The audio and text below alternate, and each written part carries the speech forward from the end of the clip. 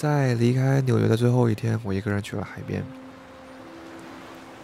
作为一个生长在内陆的我，海对我来说是一种特别的存在。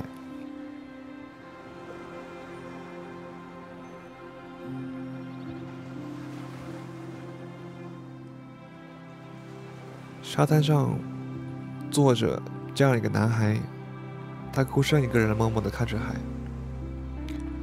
过了一会，他又站了起来，看向远方。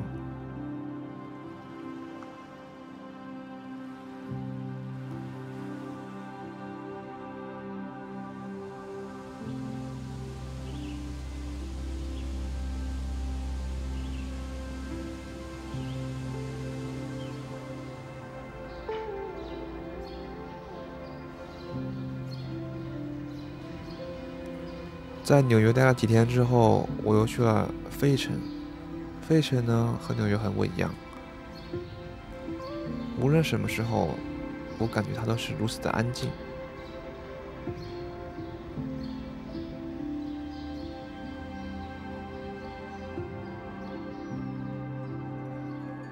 微风吹过屋外的风铃，微微作响。